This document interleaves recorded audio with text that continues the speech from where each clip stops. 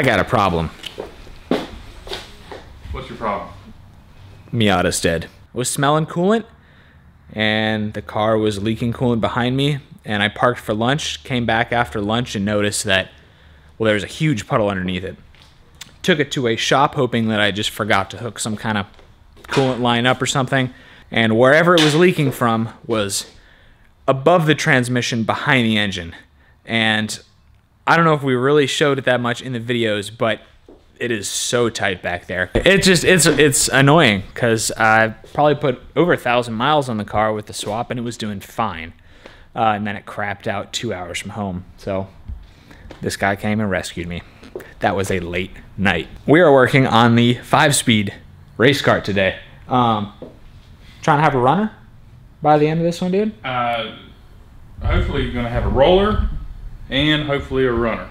So we're gonna start by trying to find some bearings, then we're gonna get to assembling our axle. So here are our old hubs and bearings. Here's the tricky thing. We have our new bearings from Go Power Sports, and we can just rob these bearings out of these new hubs because the hubs are different heights and we don't have to worry about buying spacers. Um, the problem is one of the spindles is a larger diameter. It's like tapered. Uh, so we have one bearing that's larger that we don't have. So we're gonna knock it out, try to find a part number.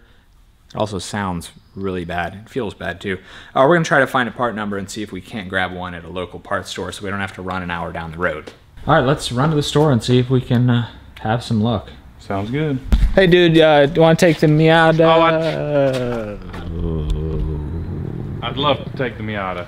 I had a buddy who hooked us up with a bearing. Uh, this guy was $35 at one store and uh, very, very cheap at the store Ike went to. Ike's friend just hooked him up, dude. Just, just plopped it in his hand. Anyway, so we have a bearing that's gonna work as long as it doesn't get wet because it's not sealed. So when installing a bearing, you want to hammer on the outer surface, never on this center surface. Always the outer.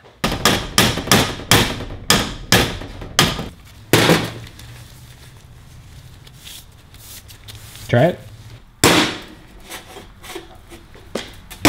One of the reasons I like this chassis is because it's very adjustable. Like the ride height here on the rear axle is adjustable. It has slotted holes for the bolts to go in. The higher you mount the bolts, the, let's see, the lower the go-kart's gonna be. This is probably gonna end up in the grass at some point, so I'm gonna mount it on its highest setting.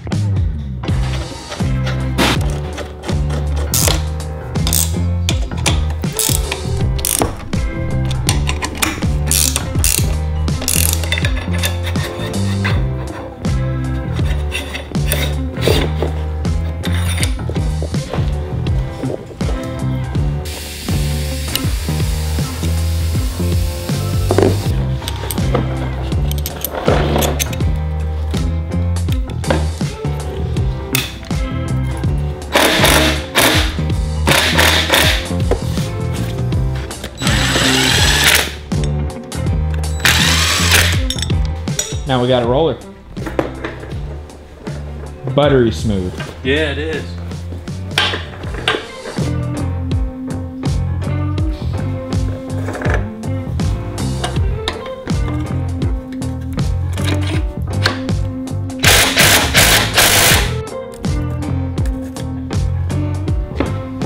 So I'm over here trying to figure out the throttle situation. Uh, this engine didn't come with a throttle cable. One we had on it wouldn't work and it was old and kind of mangy anyway. Here it is. So, discarding that. Um, so this is a slide type carburetor, right? So when you pull on the throttle, it pulls this thingy, I don't know what it's called, the slide, I'm gonna call it, up. Uh, which lets more air in the needle, lets more fuel in. Because that's the bowl right there. So, in order to attach a cable, you gotta thread your cable in through the top there, and then jam the spring into the slide kind of at the same time. It's a little bit of a mess here. In there, just like so. Then you just stuff it in the carburetor and hope everything's fine. Oh boy. There we go. All right, there it is. Nice job. Yeah, buddy. So we got to make a run to the store uh, to grab some nuts for the carburetor because the engine didn't ship with nuts for the studs for the carburetor. Uh, some carriage bolts for the seat, fuel pump, welding wire, and uh, fuel line. Ready? Yeah, buddy. Pretty much everywhere came through for us tonight. We got our nuts, our M6 by 1 nuts. We got our welding wire. We got all kinds of switches. Well, we haven't actually checked yet, but the parts store had a good amount of, a good selection of wires and connectors for our little CDI box. That's our main concern with wiring because this did not come with a wiring harness and the wiring diagram we found for a 200cc Lifan doesn't match what we have.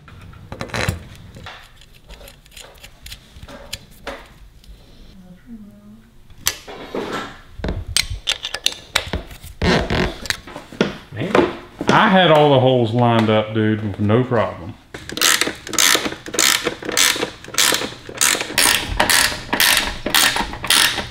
This is pretty tight in here, dude. Uh huh. I was worried about that.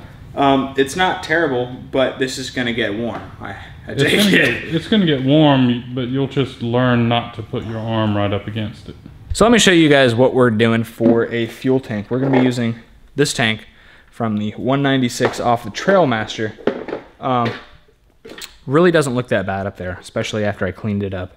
Um, gonna need to drill some holes in my brand new expensive diamond plate, but it'll be fine. Gonna use some angle iron, some flat bar. Gonna mount a fuel tank.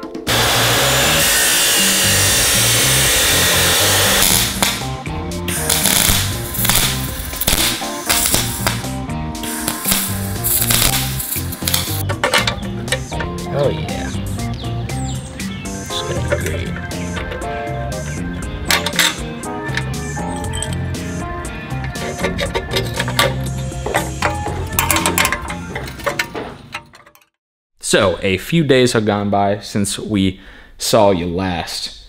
Our wiring harness showed up. That's the good news. The bad news is that it looks like it's going to plug into everything except for our CDI. So, we need to make a choice here. We need to either rig up and make it work with this CDI, which the concern is that the plugs might still fall out. Or we could just order another CDI and just have to wait a few more days before we can ride it. So we're gonna order a correct direct plug-in CDI for this engine, and I also need to order like a speedometer cable and brake cable and stuff like that Why speedometer, dude? for my CT70. Oh, the CT70. Yeah. So I was working on mounting the fuel tank. Ike was working on wiring, and now that we have a wiring harness, that can happen. What are we doing with this guy, dude? Just sticking it under there? I figured it'd be a yeah, just like that, and you kind of center it up good. I, I like the shape of that fuel tank. It just seems to work.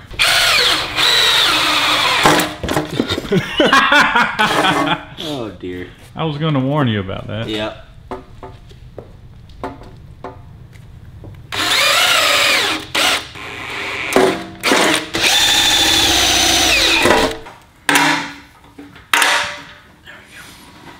So, but we got that right there.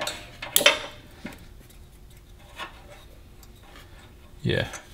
I was thinking we're going to mount a plate here, but I, I don't think it's necessary. Yeah. Uh, but I do want a plate here for the switches. It's like the exact size. What? Oh. Need a hammer? No, I need an impact driver. Oh.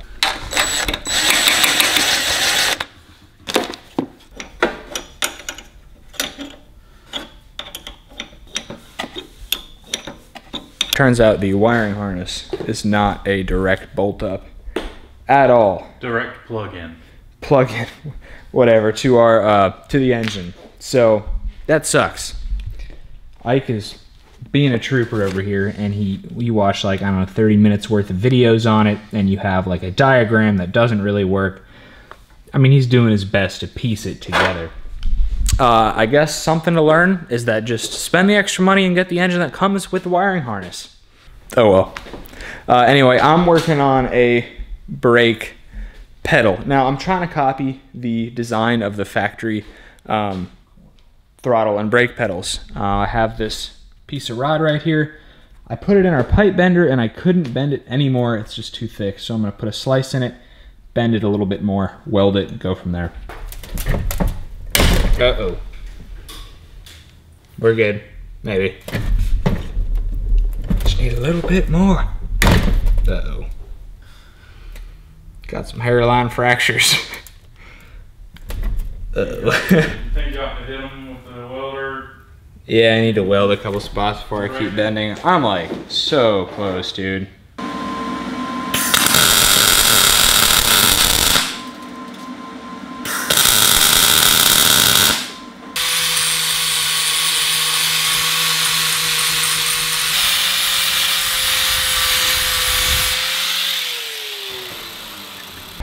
So it's not perfect, but I think this third pedal turned out pretty good. What are you doing over here, man? I'm working on uh, making a spot for uh, for a battery to sit, and I'm gonna put a piece of metal across the top of it, and it's gonna be bolted in. And Okay. So you're gonna enclose this area with that? probably yeah. Cool. You ready? Yep.